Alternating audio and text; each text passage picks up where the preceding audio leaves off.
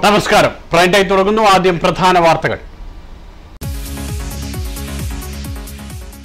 ഫ്ളാറ്റിലെ പാറ്റയെ തുരത്താൻ ഉപയോഗിച്ച വിഷവാതകം ശ്വസിച്ച് ദുബൈയിൽ ഒരാൾ മരിച്ചു. ചികിത്സയിലായിരുന്ന അഞ്ചുപേരുടെ ആരോഗ്യനില മെച്ചപ്പെട്ടു. വിഷവാതകം പ്രയോഗിച്ച ഫ്ളാറ്റ് ഉടമ അറസ്റ്റിൽ.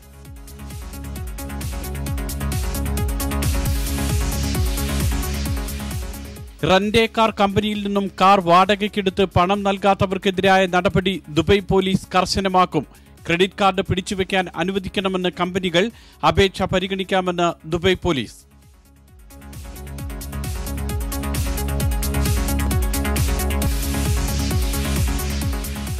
ഇറാനിൽ ചെറു യാത്രാ വിമാനം തകർന്നു വീണ് അൻപതോളം പേർ മരിച്ചു. വിമാനത്തിലുണ്ടായിരുന്ന ആരും രക്ഷപ്പെട്ടിട്ടില്ലെന്ന റിപ്പോർട്ട് അപകടം വരുത്തിവെച്ചത് വിമാനത്തിന്റെ കാലപ്പഴക്കം.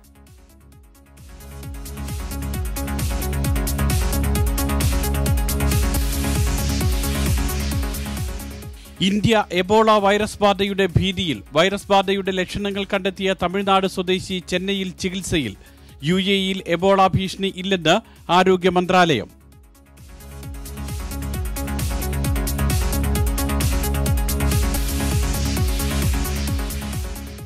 സി പി ഐ സംസ്ഥാന സെക്രട്ടറി പന്നിൻ രവീന്ദ്രൻ പാവ സെക്രട്ടറിയാണെന്ന് വെഞ്ഞാറമൂട് ശശി. അച്ചടക്ക നടപടിക്കെതിരെ രാമചന്ദ്രൻ നായർ കൺട്രോൾ കമ്മീഷന് പരാതി നൽകും. സി ദിവാകരനെതിരായ നടപടിയിൽ കേന്ദ്ര നേതൃത്വത്തിന് വിയോജിപ്പ് സി പി ഐ എം ഇരുപത്തിയൊന്നാം പാർട്ടി കോൺഗ്രസ് വിശാഖപട്ടണത്ത്.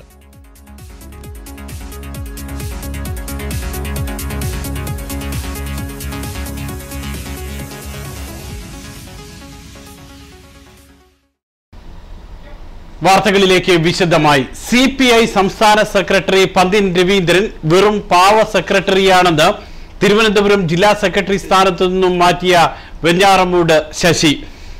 അച്ചടക്ക നടപടിക്കെതിരെ പാർട്ടി കൺട്രോൾ കമ്മീഷന് പരാതി നൽകുമെന്ന് പി രാമചന്ദ്രൻ നായർ അറിയിച്ചു. അതേസമയം സി ദിവാകരനെതിരായ നടപടിയിൽ കേന്ദ്ര നേതൃത്വത്തിന് വിയോജിപ്പുണ്ടെന്നാണ് സൂചന. തിരുവനന്തപുരത്ത് ബെന്നറ്റ് എബ്രഹാമിനെ സ്ഥാനാർത്ഥിയാക്കിയതിന്റെ പേരിൽ സി പി ഐ സംസ്ഥാന നേതൃത്വം സ്വീകരിച്ച അച്ചടക്ക നടപടി ശരിയായില്ലെന്നാണ് ദേശീയ നേതൃത്വത്തിലെ ഒരു വിഭാഗത്തിന്റെ വിലയിരുത്തൽ. ദേശീയ കൗൺസിൽ അംഗമായ സി ദിവാകരനെതിരെ അച്ചടക്ക നടപടി സ്വീകരിക്കാൻ സംസ്ഥാന നേതൃത്വത്തിന് അധികാരമില്ല സാധാരണ നിലയിൽ ഇങ്ങനെയൊരു നടപടി ഉണ്ടാകാറില്ലെന്ന് ദേശീയ സെക്രട്ടറി സുധാകർ റെഡ്ഡി തന്നെ പറഞ്ഞു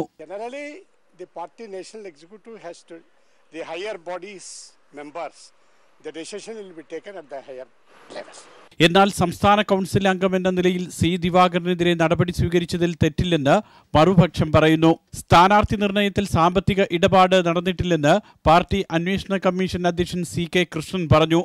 പന്ന്യൻ വെറും പാവ സെക്രട്ടറിയാണെന്ന് പറഞ്ഞ വെഞ്ഞാറമൂട് ശശി സ്ഥാനാർത്ഥി നിർണയത്തിൽ പന്ന്യൻ അനാവശ്യ തിടുക്കം കാട്ടിയെന്നും ആരോപിച്ചു. ഇന്നൊരു സെക്രട്ടറി ഒരാൾ അവിടെ ഇരിപ്പുണ്ട്. പാവയാണ്.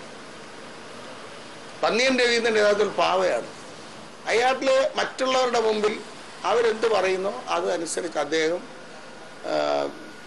ആ, പാവ ചലിക്കും പന്ന്യൻ രവീന്ദ്രന് പത്രങ്ങളിലും മാധ്യമങ്ങളിലും വരുന്ന വാർത്താ പ്രശസ്തി അത് നിലനിർത്തുക എന്നുള്ളത്. അതിനുവേണ്ടി അദ്ദേഹം വേറെ ചില ആളുകൾ ഉപയോഗിക്കും. എടുക്കുന്ന തീരുമാനം ആരും അറിയുന്നതിന് മുമ്പേ പുറത്തുവിടും. തീരുമാനം എടുക്കാൻ പോകുന്നു എന്നുള്ളത് പുറത്തുവിടും. തന്നോട് പാർട്ടി നീതി കാട്ടിയില്ലെന്നും അതുകൊണ്ട് തന്നെ കൺട്രോൾ കമ്മീഷന് പരാതി നൽകുമെന്നും പി രാമചന്ദ്രൻ നായർ വ്യക്തമാക്കി. ഇതിൽ പാർട്ടി സെക്രട്ടറിയും സംസ്ഥാന സെക്രട്ടേറിയറ്റും ഉത്തരവാദിയാണ്. ആ ഉത്തരവാദി അവർ എന്ത് വേണമെന്ന് അവർ ആലോചിക്കട്ടെ.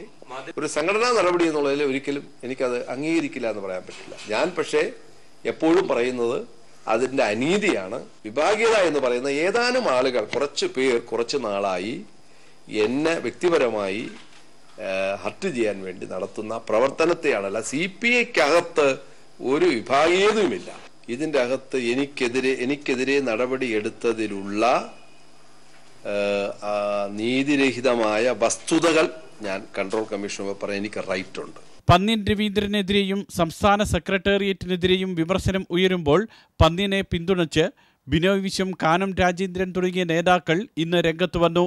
N T V U A E തിരുവനന്തപുരത്തേത് paid seat ആയിരുന്നില്ലെന്ന് പ്രതിപക്ഷ നേതാവ് V S Achuthanandan. C P ഐക്ക് വേണ്ടിയാണ് തിരുവനന്തപുരത്ത് പ്രചാരണത്തിന് പോയത്. ആ സമയത്ത് അവർ സന്തുഷ്ടരായിരുന്നു എന്നും വി എസ് അച്യുതാനന്ദൻ ദില്ലിയിൽ പറഞ്ഞു. അങ്ങനെയൊന്നും ഞങ്ങൾ കരുതുന്നില്ല. ഞാൻ C P I M C P ഐയുടെ കാൻഡിഡേറ്റിന് വേണ്ടിയിട്ടാണ് ക്യാമ്പയിന് പോയത്. ക്യാമ്പയിനിനെ സംബന്ധിച്ച് അവർ അതിലെല്ലാം സന്തുഷ്ടരായിരുന്നു.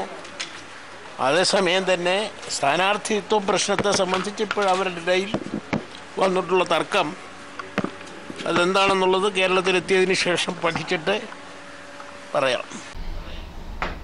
സി പി ഐ സ്വീകരിച്ച അച്ചടക്ക നടപടിയിൽ വിശ്വാസ്യതയുണ്ടോ? പന്ന്യൻ രവീന്ദ്രൻ വെറും ഒരു പാവ സെക്രട്ടറിയാണോ? ആണെങ്കിൽ പന്നിന് പിന്നിൽ പ്രവർത്തിക്കുന്നത് ആരെല്ലാം? പ്രൈം ടൈം പരിശോധിക്കുന്നു. ചർച്ചയിൽ പങ്കെടുക്കുന്നു Shri V S Sunilkumar C P I നേതാവ് M L A Bennet Abraham മുൻ സ്ഥാനാർത്ഥി തിരുവനന്തപുരത്ത് പരാജയപ്പെട്ട സ്ഥാനാർത്ഥി വെഞ്ഞാറമൂട് ശശി തിരുവനന്തപുരം ജില്ലാ സെക്രട്ടറി സ്ഥാനത്തു നിന്നും പുറത്താക്കപ്പെട്ട വെഞ്ഞാറമൂട് ശശി. ഇത്രയും പേർ നമ്മളോടൊപ്പം ടെലിഫോണിൽ ചേരുന്നു.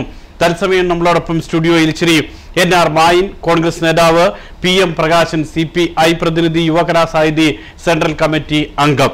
ഞാൻ ശ്രീ പ്രകാശനിലേക്ക്. ശ്രീ പ്രകാശൻ ഇന്നലെ സംസാരിച്ചതിൽ നിന്നും വളരെ വ്യക്തമായി കാര്യങ്ങൾ വരികയാണ്. വെഞ്ഞാറമൂട് ശശി തന്നെ വാർത്താ സമ്മേളനം നടത്തി വളരെ കൃത്യമായി കാര്യങ്ങൾ വിശദീകരിക്കുകയും ചെയ്യുന്നു. ഇന്ന് വെഞ്ഞാറമൂട് ശശി പറയുന്നു പന്നിൻ എന്ന് പറയുന്നത് വെറും ഒരു പാവ സെക്രട്ടറിയാണ് എന്ന്. താങ്കളുടെ സംസ്ഥാന സെക്രട്ടറി ഒരു- ഒരു വെറും ഒരു പാവയാണോ ഇന്നലെ വരെ ജില്ലാ സെക്രട്ടറി ആയിരുന്ന സഖാവാണ് വെഞ്ഞാറമൂട് ശശി. വെഞ്ഞാറാമൂട് ശശി അടങ്ങുന്ന സംസ്ഥാന കൗൺസിലാണ് ഇപ്പോൾ പാവ എന്ന് വിശേഷിപ്പിക്കുന്ന ഈ പന്നിയൻ സഖാവ് പന്നിയൻ രവീന്ദ്രനെ സെക്രട്ടറി ആയിട്ട് തിരഞ്ഞെടുത്തത്. പിന്നെ ഇന്നലെ ഒരു അച്ചടക്ക നടപടി വന്നപ്പോൾ അദ്ദേഹം ഇന്നലെ പറയുകയും ചെയ്തു ചില ആളുകൾക്ക് ഇതൊന്നും ഉൾക്കൊള്ളാൻ കഴിയില്ല. പത്ത് നാൽപ്പത്തി ചില്ലാനും വർഷത്തെ പാരമ്പര്യമൊക്കെ പറയുന്നുണ്ടെങ്കിലും അവരൊക്കെ മനസ്സിൽ ധരിച്ചു വെച്ചിരിക്കുന്ന കാര്യമുണ്ട്. ഞാനാണ് ഏറ്റവും വലിയവൻ എന്നുള്ളൊരു ചിന്ത മനസ്സിൽ വന്നാൽ ആ കമ്മ്യൂണിസ്റ്റിന് വേറെ അതിലും പരം ഒരു ദോഷമായിട്ടുള്ളൊരു കാര്യം പിന്നെ ആ സഖാവിന് വരാനില്ല. അപ്പോൾ ഇന്ന് ഒരു അച്ചടക്കമുള്ളൊരു കമ്മ്യൂണിസ്റ്റ് പാർട്ടി പ്രവർത്തനമായിരുന്നു എങ്കിൽ ആ സഖാവ് ഈ പാർട്ടിയുടെ തീരുമാനം അംഗീകരിച്ചുകൊണ്ട് പ്രത്യയശാസ്ത്രത്തിൽ വിശ്വസിക്കുന്ന ഒരു സഖാവായിരുന്നുണ്ടെങ്കിൽ പാർട്ടിയുടെ അച്ചടക്കം പാലിച്ച് ആ അച്ചടക്ക നടപടി അംഗീകരിച്ച് അതിന് അഭിപ്രായ വ്യത്യാസമുണ്ടെങ്കിൽ ഇന്നും ഇന്നലെയും പറഞ്ഞ പോലെ പരസ്യമായി പറയാൻ ഒരു കമ്മ്യൂണിസ്റ്റ് പാർട്ടിയുടെ ഒരു പ്രവർത്തകനും അവകാശമില്ല. പുറത്തു പോയിട്ട് പറയാം. ഇന്നിപ്പോൾ സഖാവ് രാമേന്ദ്രൻ നായർ പറഞ്ഞല്ലോ ഞാൻ കൺട്രോൾ കമ്മീഷനിൽ പോകുന്നു. അതാണ് ശരിയായ രീതി. അദ്ദേഹത്തിന് അഭിപ്രായ വ്യത്യാസം ഉണ്ടെങ്കിൽ അദ്ദേഹത്തിന് ഉൾക്കൊള്ളാൻ കഴിയാത്തതാണെങ്കിൽ പാർട്ടി ഇത് അംഗീകരിക്കുന്നതോടൊപ്പം തന്നെ അത് തിരുത്തി കിട്ടുന്നതിന് വേണ്ടി പാർട്ടിയിൽ ചില സംവിധാനങ്ങളുണ്ട്. അതാണ് കൺട്രോൾ കമ്മീഷൻ. അവിടെ പോയിട്ട് പരാതി പറഞ്ഞാൽ അയാൾ അദ്ദേഹത്തിന് പറയാനുള്ള കാര്യങ്ങൾ പറയാം. ആ പാത സ്വീകരിക്കാതെ ഇന്നലെ വരെ ജില്ലാ സെക്രട്ടറിയും സ്റ്റേറ്റ് എക്സിക്യൂട്ടീവ് മെമ്പറായിരുന്ന ആൾ ഇന്ന് പറയാണ് പന്നിയൻ പാവയാണ് എന്നൊക്കെ പറഞ്ഞാൽ അത് അതിൽ തന്നെ പൊരുത്തക്കേടില്ല. ആർക്കും ഉൾക്കൊള്ളാൻ കഴിയുന്ന ശരി താങ്കൾക്ക് ഉൾക്കൊള്ളാൻ കഴിയില്ല. N R Mayin C P I എന്ന് പറയുന്ന പാർട്ടി ഈ ലോക്സഭാ തെരഞ്ഞെടുപ്പിൽ അവർക്ക് ചില തെറ്റുകൾ സംഭവിച്ചു എന്ന് കണ്ടെത്തുകയും ഒരു അന്വേഷണ കമ്മീഷന് വെച്ചു അന്വേഷിച്ചു കണ്ടെത്തി കണ്ടെത്തലിന്റെ അടിസ്ഥാനത്തിൽ നടപടിയെടുത്തു. സി പി ഐ ഇപ്പോൾ സ്വീകരിച്ച നടപടി ആ പാർട്ടിക്ക് സംഭവിച്ച തെറ്റിതിരുത്താൻ പര്യാപ്തമാണെന്ന് താങ്കൾ കരുതുന്നുണ്ടോ? അല്ല ഇവിടെ ഏറ്റവും പ്രധാനപ്പെട്ട ഒരു പ്രശ്നം ഈ സി പി ഐക്ക് പറ്റിയ തെറ്റ് കേരളത്തിലെ ജനങ്ങളോട് ഏറ്റുപറഞ്ഞുകൊണ്ട് മാപ്പ് ചോദിക്കേണ്ട ഒരു അവസ്ഥയുള്ളത്. ഏറ്റവും പ്രധാന പ്രശ്നം അതാണ്. സി പി എം അകത്തുള്ള ഈ പ്രശ്നങ്ങളെക്കാൾ ഉപരി കേരളത്തിലെ ജനങ്ങളെ വഞ്ചിച്ചിരിക്കുന്നു. കേരളത്തിലെ ജനങ്ങളോട് ശരിയായതല്ല ചെയ്തത് എന്ന് സമൂഹ മനസാക്ഷിക്ക് മുമ്പിൽ പൂർണമായി ബോധ്യപ്പെട്ടിരിക്കുന്നു. അപ്പോൾ ഇവിടെ ചെയ്യേണ്ട ഏറ്റവും പ്രധാന പ്രശ്നം ഇവർ കേരളത്തിലെ പൊതുസമൂഹത്തിനോടും ഇന്ത്യയിലെ പൊതുസമൂഹത്തിനോടും സി പി ഒരു ദേശീയ പാർട്ടിയായിരുന്നു. അപ്പോൾ അവരോട് മാപ്പ് പറയേണ്ടത് ഇവിടെ സുരേഷ് മനസ്സിലാക്കേണ്ടത് ഇന്ന് വെഞ്ഞാറൻമൂട് ശശി കൃത്യമായി തന്നെ മിനിറ്റ്സ് എടുത്ത് സമൂഹത്തിന് മുമ്പിൽ കാണിച്ചു കൊടുത്തിരിക്കുക ഈ മിനിറ്റ്സിൽ വ്യക്തമായി പറയുന്നത് തിരുവനന്തപുരം ജില്ലാ കമ്മിറ്റിയിൽ ബെനറ്റ് എബ്രഹാമിന്റെ പേരിൽ നിർദ്ദേശം വന്നപ്പോൾ ആ പേര് നിർദ്ദേശിക്കപ്പെട്ട സന്ദർഭത്തിൽ പോലും രാമചന്ദ്രൻ നായർ പറഞ്ഞിരിക്കുന്നത് ഇതൊരു പക്ഷേ പേയ്മെന്റ് സീറ്റ് എന്നുള്ള ആക്ഷേപം കേരളത്തിൽ സൃഷ്ടിക്കപ്പെടുമെന്ന് ആ സന്ദർഭത്തിൽ പോലും മിനിറ്റ്സിൽ എഴുതി ചേർത്തിട്ടുണ്ട്. അപ്പോൾ ഇവിടെ എവിടെയാ പ്രശ്നം? ഇവിടെ ഒരുപാട് മനസ്സിലാക്കേണ്ടത്. ഇവർ പറയുന്നു ഇവരാണ് കുറ്റക്കാർ. ഇവരെ പുറത്താക്കിയിരിക്കുന്നു എന്ന് പറയുന്നു. മിനിറ്റ്സ് എടുത്ത് പുറത്തു കൊണ്ടുവന്ന് പറയുന്നു രാമചന്ദ്രൻ നായർ വിയോജനക്കുറിപ്പ് എഴുതിയിരിക്കുന്നു എന്ന്. അപ്പോൾ ഇവിടുത്തെ ഒരു പ്രധാന പ്രശ്നം ഇതൊന്നുമല്ല. ഇത് യഥാർത്ഥത്തിൽ സി പി എമ്മിന്റെ ചില നയങ്ങൾ സി പി ഐ അടിച്ചേൽപ്പിച്ചതാണ്. കാരണം ഇത് കടകംപള്ളി സുരേന്ദ്രനെയും അതുപോലെ തന്നെ ശിവൻകുട്ടിയുടെ ഒക്കെ ഒരു സ്ഥാനാർത്ഥിയാണ്.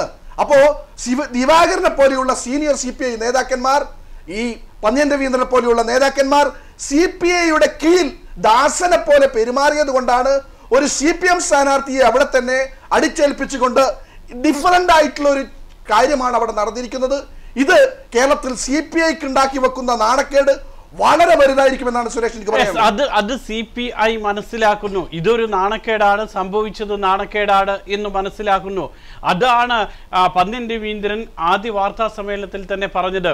സി പി ഐക്ക് ഒരു സൽപ്പേരുണ്ട് ആ സൽപ്പേര് ചില ആളുകൾ കളങ്കപ്പെടുത്തുന്നു. അതിനെതിരെയാണ് നടപടി എന്ന് പറയുന്നു. ശ്രീ പ്രകാശൻ അങ്ങനെയാണെങ്കിൽ ഈ പറയുന്നത് പോലെ മൂന്നേ മൂന്ന് പേർ ഇന്നലെ താങ്കളോട് പറഞ്ഞ കാര്യങ്ങൾ തന്നെ മൂന്നേ മൂന്ന് പേർ വിചാരിച്ചാൽ എന്തായാലും സി പി ഐ എന്ന് പറയുന്ന ഒരു പാർട്ടിയെയും ആ പാർട്ടിയുടെ നേതൃത്വത്തെയും വഴിതെറ്റിക്കാൻ കഴിയില്ല. അപ്പോൾ ഈ മൂന്ന് പേർക്ക് അപ്പുറത്തേക്ക് ഇതിൽ അതാണ് സി എ കുര്യനും പറയുന്നത്. സി എ കുര്യൻ കൃത്യമായി പറഞ്ഞുവല്ലോ.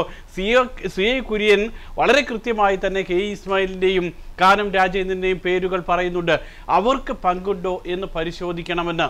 അപ്പോൾ അത്തരത്തിൽ വിശാലമായ ഒരു പരിശോധനയും അതേപോലെ തന്നെ തെറ്റുതിരുത്തൽ പ്രക്രിയയും ഇക്കാര്യത്തിൽ വേണ്ടേ?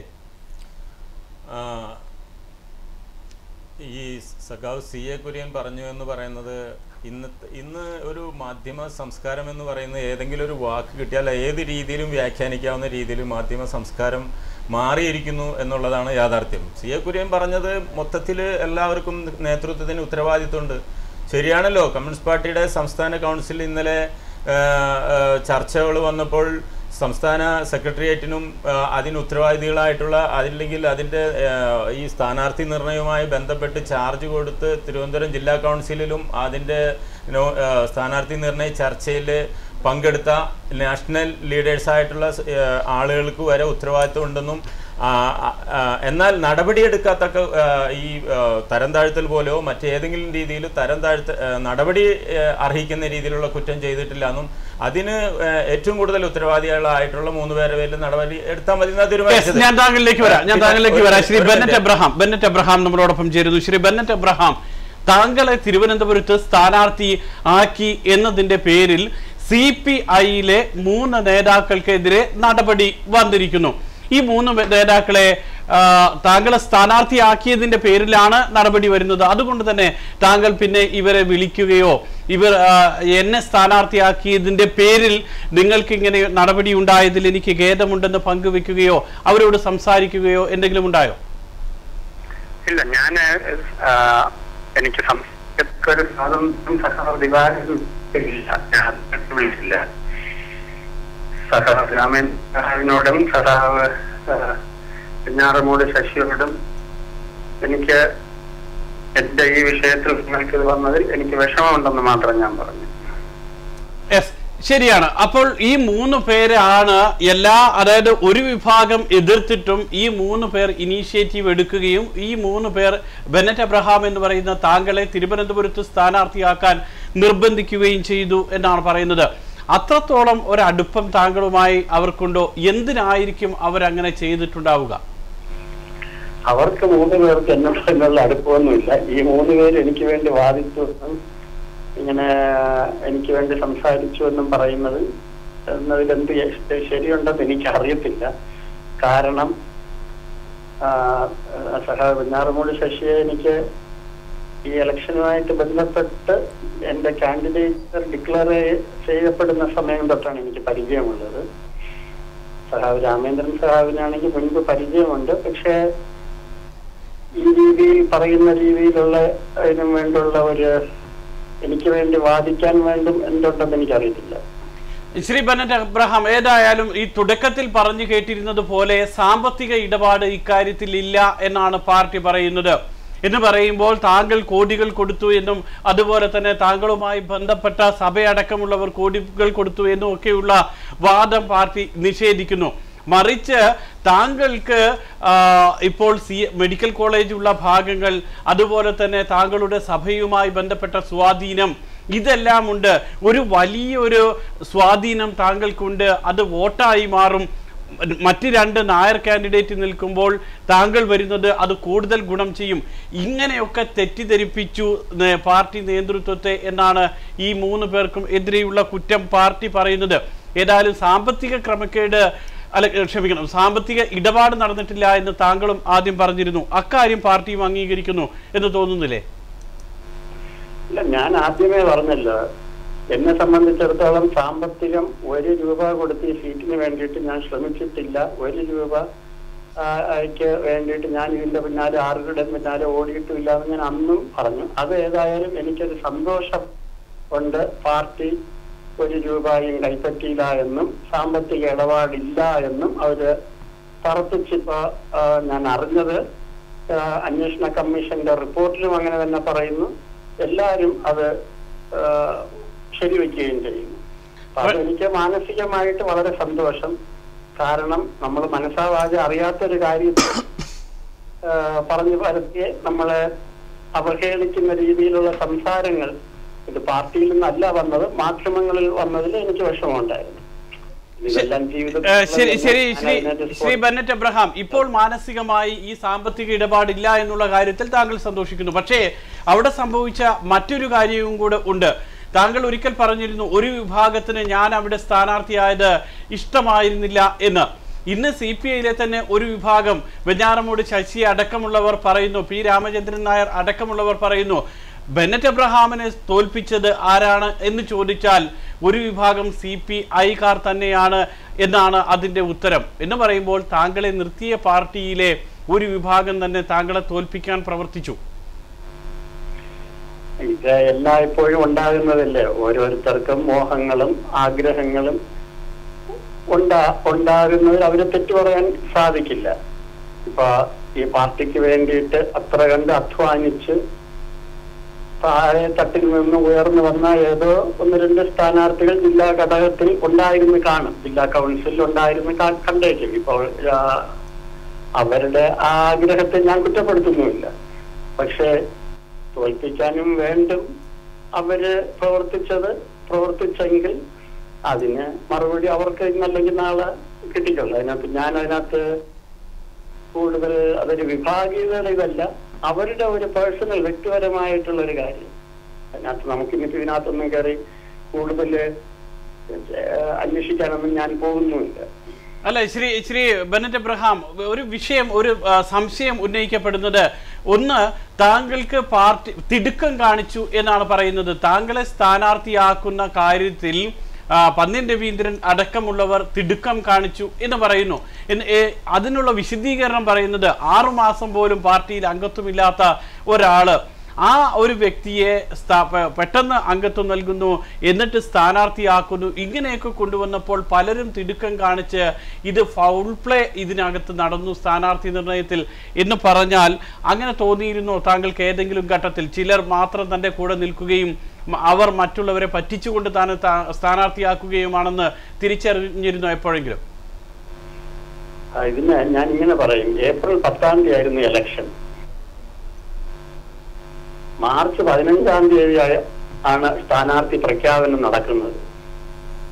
ഇരുപത്തഞ്ച് ദിവസത്തിന് മുമ്പാണ്. ഇനി ഇതിനെ വെച്ച് വൈകി എനിക്കറിയത്തില്ല അതെന്തുവാണ് അങ്ങനെ പറയുന്നവർ ഉദ്ദേശിക്കുന്നതെന്ന് സാധാരണ നാൽപ്പത്തഞ്ച് ദിവസത്തിന് മുമ്പെങ്കിലും സ്ഥാനാർത്ഥികളെ എല്ലാ പാർട്ടികളും പ്രഖ്യാപിക്കും. ഇപ്പൊ കോൺഗ്രസ് ആയാലും ബി ജെ പി ആയാലും അത് ചെയ്തിരുന്നു. എൽ ഡി എഫ് പ്രഖ്യാപിക്കാതെ ലാസ്റ്റ് വരെ വെച്ചിരുന്നത് എന്തിനാണ് എന്ന് എനിക്കറിയത്തില്ല. ഏറ്റവും ഒടുവിലായി ഒരു കാര്യം കൂടെ ശ്രീ ബെനറ്റ് എബ്രഹാം. ഏതായാലും ഇപ്പോഴത്തെ സാഹചര്യത്തിൽ ഈ പ്രശ്നങ്ങൾക്കൊക്കെ ഒരു കാരണക്കാരൻ താങ്കളായി. അതിന് രണ്ട് രീതിയിലും കാണാം. ഒന്ന് സി പി ഐയിൽ ചില ശ്രീ പി രാമേന്ദ്രൻ നായർ പറയുന്നത് പോലെ ക്ഷുദ്രജീവികൾ ഉണ്ടായിരുന്നു. ആ ക്ഷുദ്രജീവികളെ കണ്ടെത്തി നടപടിയെടുക്കാനും പാർട്ടിയെ തിരുത്താനും താങ്കൾ ഒരു കാരണക്കാരനായി എന്നു കരുതാം. അതുമല്ലെങ്കിൽ താങ്കൾ മൂലം സി പി ഐയിൽ ചില പ്രശ്നങ്ങൾ ഉണ്ടായി എന്നും കരുതാം. എങ്ങനെയാണ് താങ്കൾ ഇതിനെ വിലയിരുത്തുന്നത്? അല്ല അത് ഞാൻ വിലയിരുത്തുന്നില്ല. കാരണം ഞാൻ ഒരു വ്യക്തിയാണ്. ഇതൊരു പാർട്ടിയുടെ കാര്യമാണ്. ഇങ്ങനത്തെ ഒരു കാര്യത്തെ വിലയിരുത്താൻ പാർട്ടിക്ക് ആവശ്യമായ നേതാക്കളുണ്ട്. അതിനുള്ള കഴിവുമുണ്ട്. ഞാൻ പാർട്ടിക്ക് വിടുന്നതേ ഉള്ളൂ. എന്റെ പാർട്ടി അത് ചെയ്തുള്ളൂ ഏതായാലും ഏറ്റവും ഒടുവിലായി ഇപ്പോഴത്തെ സാഹചര്യത്തിൽ സി പി ഐയിൽ താങ്കൾ തുടരും. കഴിയുന്ന രീതിയിൽ സി പി ഐയെ സഹായിക്കും സി പി ഐക്ക് വേണ്ടി പ്രവർത്തിക്കുമെന്ന് തന്നെ വേണോ കരുതാൻ? ഞാൻ മുമ്പ് അങ്ങനെയാണല്ലോ പറഞ്ഞിരുന്നത്. ഞാനത് അന്നും പറഞ്ഞിരുന്നല്ലോ ഇപ്പൊ വീട്ടിലെ അച്ഛൻ മക്കളെ വഴക്ക് പറഞ്ഞാൽ മക്കൾ വീട് വിട്ടങ്ങ് ഇറങ്ങി പോവുക. അതുപോലെ ഉള്ള ഈ കാര്യങ്ങൾ അല്ല ചില ആളുകൾ അങ്ങനെ വഴക്ക് പറഞ്ഞ അച്ചടക്ക നടപടിയുടെ പേരിൽ വീട് വിട്ടിറങ്ങി പോകുന്നു. പാപിയാണ് എന്ന് പറയുന്നു. പാവ സെക്രട്ടറിയാണ് എന്നൊക്കെ പറയുന്നു. അങ്ങനെ അതുകൊണ്ട് ചോദിച്ചു പോയതാ. അല്ല അത് ഇമോഷണലായിട്ട് മനുഷ്യരല്ലേ എല്ലാരും ഇമോഷണലായിട്ട് ചിലര് ആ രീതിയിൽ റിയാക്ട് ചെയ്യും. ഞാൻ ഞാനതിൽ അതിനു വേണ്ടി ഒന്നും സംഭവിച്ചതായിട്ട് എനിക്ക് ഞാൻ കരുതുന്നില്ല. യെസ് വളരെയധികം നന്ദി ശ്രീ ബെനറ്റ് എബ്രഹാം സംസാരിച്ചതിൽ വളരെയധികം നന്ദി. ശ്രീ എൻ ആർ മായൻ എന്ത് തോന്നുന്നു ശ്രീ ബെനറ്റ് അബ്രഹാം സംസാരിക്കുന്നത് കേട്ടിട്ട്? അല്ല ഞാൻ പറഞ്ഞല്ലോ ഇപ്പോ ഇവിടെ ഏറ്റവും കൂടുതൽ ചർച്ച ചെയ്യപ്പെടുന്ന ഒരു വ്യക്തി അത് ഞങ്ങൾ അന്ന് ഇലക്ഷന്റെ കാലഘട്ടത്തിൽ തന്നെ പറഞ്ഞു ഇദ്ദേഹം പേയ്മെന്റ് സീറ്റിന്റെ ആളാണെന്ന്. ഞങ്ങൾ പറഞ്ഞതാ കേരളത്തിലെ തെരഞ്ഞെടുപ്പ് മേഖലയിൽ യു ഡി എഫ് എന്ന് പറഞ്ഞു ഇടതുപക്ഷ ഗവൺമെന്റ് ഇടതുപക്ഷ മുന്നണി ഒരുപാട് പേയ്മെന്റ് സീറ്റുകൾ സൃഷ്ടിക്കപ്പെട്ടിരിക്കുന്നു അതിൽ ഏറ്റവും പരമപ്രധാനിയാണ് ബെനറ്റ് ബറാം എന്ന് ഞങ്ങൾ അന്ന് പറഞ്ഞിട്ടുണ്ടു. ഇന്നവിടെ എന്താ പ്രശ്നം? ഇന്നും ഇദ്ദേഹം സീറ്റൊക്കെ വാങ്ങിച്ചു മത്സരിച്ചു. ഇന്നും ഇദ്ദേഹം പറയുന്നത് ഞാൻ സി പി ഐക്കാരനാണെന്ന് ഇപ്പോൾ ഇദ്ദേഹം പറഞ്ഞുകൊണ്ടിരിക്കും ഇവിടെ ഇവിടുത്തെ ഒരു പ്രധാന പ്രശ്നം മനസ്സിലാക്കേണ്ടത് ഇടതുപക്ഷ പ്രസ്ഥാനത്തിന് വലിയ അപജയം സംഭവിച്ചുകൊണ്ടിരിക്കുന്നു. ഇവിടെ സി പി ഐക്ക് തന്നെ പിന്നെ നമ്മുടെ മരിച്ചുപോയ ബഹുമാന്യനായ ചന്ദ്രപ്പനെ പോലെയുള്ള അല്ലെങ്കിൽ വെളിയം വാർഗവനെ പോലെയുള്ള ധീരമായ ഒരു കഴിവുള്ള കരിസ്മാറ്റിക് ആയിട്ട് കരിസ്മാറ്റിക് ആയിട്ടുള്ള സെക്രട്ടറിമാരില്ല. അവിടെ ഇന്ന് ഞാൻ പറയുന്നത് കേട്ടു ശശി എന്ന് പറയുന്നത് കേട്ടു. ഫുട്ബോളിനെ കുറിച്ച് എഴുതാൻ അറിയാം ആർക്ക് പന്ത്യൻ രവീന്ദ്രന്. പക്ഷേ ഒരു മികച്ച സെക്രട്ടറി അല്ല ഒരു മികച്ച നേതാവല്ല എന്നത് പരസ്യമായി പറയുന്നത് കേൾക്കുക. അപ്പോ ഇത് ശരിതാ ശരി ശരി തന്നെ എന്തുകൊണ്ടാ? ഇവിടെ പേയ്മെന്റ് സീറ്റ് എന്ന് പറയുന്ന സംവിധാനം കൊണ്ടുവന്നത് സി പി എം ആ. അതിന്റെ ഒരു ഭാഗമാണ് ക്രിസ്റ്റി ഫെർണാണ്ടസ്. നിങ്ങൾ ഇടുക്കിയിലും നോക്കണം. അവിടെ ആരാ? മണൽ മാഫിയുടെ കോറി മാഫിയുടെ നേതാവിനെ പിടിച്ചിട്ടാ സ്ഥാനാർത്ഥിയാക്കിയത്. ഇവിടെ ഇവരൊക്കെ എങ്ങനെ ഇടതുപക്ഷത്തിന്റെ നേതാക്കന്മാരാവുന്നത് മനസ്സിലാവുന്നില്ല. ഞാൻ പറഞ്ഞേ ഇടതുപക്ഷം അപജയത്തിൽ പെട്ടിരിക്കുകയാണ് അവരെ മാറ്റാനുള്ള ഉത്തരവാദിത്വം സി പി ഐക്കും സി പി എമ്മിന് വേണം. ഇവിടെ തന്നെ വന്നത് സി പി ഐയുടെ സ്ഥാനാർത്ഥിയല്ല യഥാർത്ഥത്തിൽ ബെന്നറ്റ് എബ്രഹാം.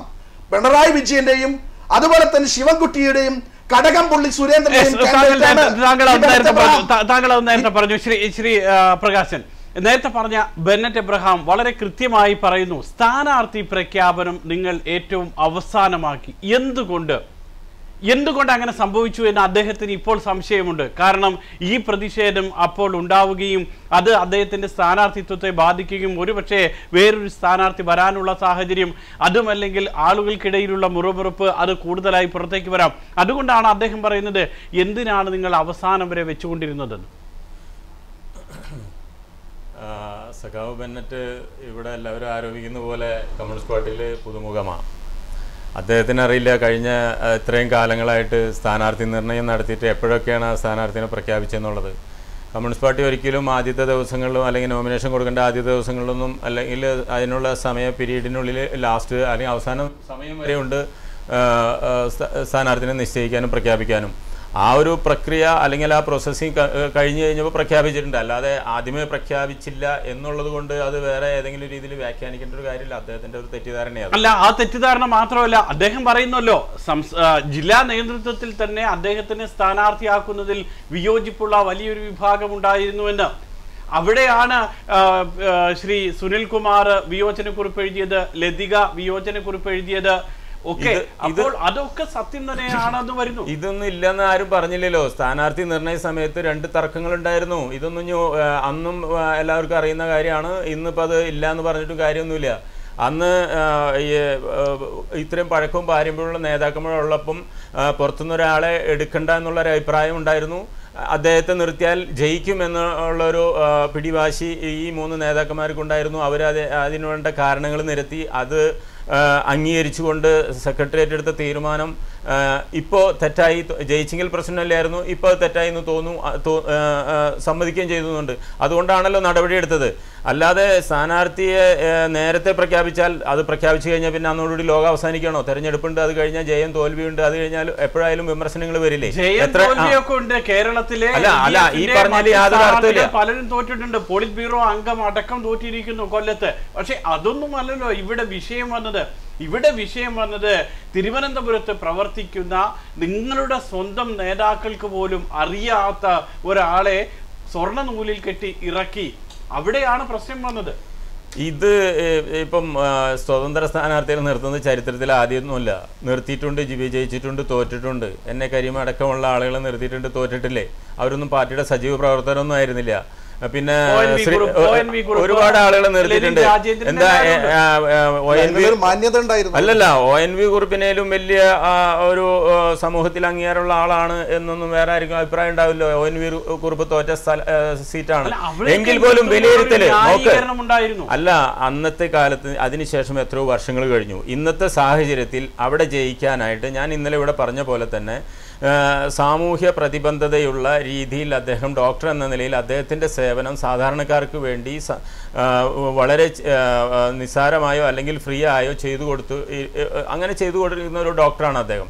അപ്പോൾ ആ രീതിയിലൊക്കെ കുറേ സ്വാധീനങ്ങളുണ്ടെന്നും ആ രീതിയിൽ കുറേ വോട്ട് കിട്ടാൻ സാധ്യതയുണ്ടെന്നും അത് പ്ലസ് ഇടതുപക്ഷത്തിന്റെ വോട്ടും കൂടെ ജയിക്കുമെന്നുള്ളൊരു കണക്കാണ് ഈ മൂന്ന് കക്ഷികൾ അവിടെ അവതരിപ്പിച്ചത്. അത് തിരുവനന്തപുരത്ത് കൂടുതൽ പ്രവർത്തിക്കുന്ന ആളുകളാണ്. അപ്പോൾ അവരുടെ വാക്കിന് വില കൊടുക്കേണ്ടിയിരുന്നു. അത് മുഖവിലേക്ക് എടുക്കേണ്ടതുണ്ട്. അങ്ങനെയാണ് സ്ഥാനാർത്ഥി നിർണയം. ഞാൻ താങ്കളിലേക്ക് വരാം. വെഞ്ഞാറമൂട് ശശി ഇപ്പോൾ നമ്മളോടൊപ്പം ചേരുന്നു. ശ്രീ വെഞ്ഞാറമൂട് ശശി താങ്കൾ അടക്കമുള്ള മൂന്ന് പേർക്കെതിരെയാണ് തിരുവനന്തപുരത്തെ സ്ഥാനാർത്ഥി നിർണയത്തിന്റെ പേരിൽ നടപടി ഉണ്ടായിരിക്കുന്നത്. അല്പം മുൻപ് സംസാരിച്ച ബെന്നറ്റ് എബ്രഹാം പറയുകയായിരുന്നു അദ്ദേഹത്തെ സ്ഥാനാർത്ഥിയാക്കിയതിന്റെ പേരിൽ നിങ്ങൾക്ക് മൂന്ന് പേർക്കും എതിരെ നടപടിയിട്ട് നടപടി നേരിട്ടതിൽ അല്പം ഖേദമുണ്ട് എന്ന്. ഏതായാലും എന്താണ് താങ്കൾ ചെയ്ത തെറ്റ് എന്ന് താങ്കൾക്ക് ബോധ്യമായിട്ടുണ്ടോ? മനസ്സിലാക്കാൻ പറ്റിയിട്ടുണ്ടോ ശ്രീ വെഞ്ഞാറമൂട് ശശി? ഞാൻ പ്രത്യേകമായ ഒരു തെറ്റും ചെയ്തതായി എനിക്ക് ബോധ്യമല്ല. എന്നോടൊപ്പം ഉള്ള സഹാക്കൾക്കും ബോധ്യമല്ല. ഒരു വീഴ്ച വന്നിട്ടുണ്ട് എന്റെ ഭാഗത്ത്. ബെനറ്റ് പ്രഭാവനെ തീരുമാനിച്ചത് പാർട്ടി സംസ്ഥാന സെക്രട്ടേറിയറ്റാണ്. അവരുടെ തീരുമാനമായിട്ടാണ് എക്സിക്യൂട്ടീവിൽ ഈ നിർദ്ദേശം വന്നത്. തിരുവനന്തപുരം ജില്ലാ കൗൺസിലിൽ അംഗീകരിച്ച പാനലിൽ ബെനറ്റ് എബ്രഹാമിന്റെ പേരില്ല മറ്റ് പന്നിയൻ രവീന്ദ്രൻ സി അതുപോലെ രാമേന്ദ്രൻ നായർ എന്നീ മൂന്ന് ആളുകൾ മാത്രമേ ഉള്ളൂ. ജനറ്റ് എബ്രഹാം ഇല്ല എന്നാൽ അന്നത്തെ ചർച്ചകളിൽ ജനറ്റ് എബ്രഹാമിന്റെ പേര് ആ ചർച്ചകളിൽ ഉയർന്നു വന്നു. അപ്പോൾ സഹോ പന്നിയൻ രവീന്ദ്രൻ തന്നെ പറഞ്ഞു നിങ്ങൾ തീരുമാനം നിങ്ങളുടെ ഡി സിയുടെ നിർദ്ദേശം ആ പാനലും അതോടൊപ്പം ഈ മിനിറ്റ്സും ആ അന്നത്തെ യോഗത്തിന്റെ മിനിറ്റ്സ് പൂർണമായി അത് ഫോട്ടോസ്റ്റാറ്റ് കോപ്പിയായി നിങ്ങളുടെ സംസ്ഥാന സെന്ററിനെ ഏൽപ്പിക്കണം. അത് നമ്മുടെ സംസ്ഥാന സെന്ററിനെ ഏൽപ്പിച്ചു. ഇതാണ് ഞാൻ ചെയ്ത ഒരു പ്രധാനപ്പെട്ട തെറ്റെന്ന് അവർ ചൂണ്ടിക്കാണിക്കുന്നു. ഒരു പാർലമെന്റ് സ്ഥാനാർത്ഥിയെ കുറിച്ച് തീരുമാനിക്കുന്നത് പാർട്ടി സംസ്ഥാന സെക്രട്ടേറിയറ്റ് സംസ്ഥാന സെക്രട്ടേറിയറ്റാണ് തീരുമാനിച്ചത്. ബെനറ്റ് എബ്രഹാമിനെ തിരുവനന്തപുരത്ത് നിർത്താൻ ഞങ്ങൾ തീരുമാനിക്കുന്നു. എക്സിക്യൂട്ടീവ് അംഗീകരിച്ചു. നാഷണൽ എക്സിക്യൂട്ടീവ് അതിന് അംഗീകാരം കൊടുത്തു. അങ്ങനെയാണ് ബെനറ്റ് എബ്രഹാം സ്ഥാനാർത്ഥിയായത്. അതിൽ എനിക്കെന്താണ് വന്നത് അത് അത് പക്ഷേ ഇപ്പോൾ ഇപ്പോൾ ശ്രീ ശ്രീ ഈ സ്ഥാനാർത്ഥിയെ കുറിച്ചുള്ള ആക്ഷേപങ്ങൾ. ആ ആക്ഷേപങ്ങൾ എല്ലാം അവർക്കറിയാം. അയാൾ വിദ്യാഭ്യാസ കച്ചവടക്കാരനാണ്. സ്വാശ്രയ മാനേജ്മെന്റിന്റെ ആളാണ്. ഒരു സ്വകാര്യ സ്ഥാപനത്തിലെ ഡയറക്ടർ ബോർഡാണ് ഡയറക്ടറാണ് ഇതെല്ലാം അറിയാവുന്നവരാണ്. അങ്ങനെ അറിയാവുന്നവരാണ് തീരുമാനിച്ചത്. ഒരു പാർട്ടിയുടെ താഴെ ഘടകത്തിന് എന്തെങ്കിലും തെറ്റ് സംഭവിച്ചാൽ ആ തെറ്റ് തിരുത്താൻ ബാധ്യതയുള്ളവരാണ് നേതൃത്വ ഘടകത്തിൽ ഇരിക്കുന്ന ആളുകൾ നേതാക്കന്മാർ. എന്തുകൊണ്ട് അന്ന് ഇടപെട്ട് ഇത് തിരുത്തിയില്ല? അല്ല പക്ഷേ പക്ഷേ പക്ഷേ ശ്രീ പക്ഷേ ശ്രീ വെഞ്ഞാറമൂട് ശശി വെഞ്ഞാറമൂട് ശശി ശ്രീ വെഞ്ഞാറമൂട് ശശി ഒരു ഒരു തെറ്റിദ്ധരിപ്പിക്കൽ നിങ്ങൾ പാർട്ടി നേതൃത്വത്തെ താങ്കളും സി ദിവാകരനും പി രാമചന്ദ്രൻ നായരും ചേർന്ന് ബെന്നറ്റ് എബ്രഹാമിന് വലിയ സ്വാധീനമുണ്ട്. ഒരു വിഭാഗത്തിന്റെ വോട്ട് ബൾക്കായിട്ട് കിട്ടാൻ സാധ്യതയുണ്ട്. ഒരു ഡോക്ടർ എന്നുള്ള നിലയിൽ അദ്ദേഹം ചെയ്യുന്ന സേവനങ്ങൾ മഹത്തരമാണ്.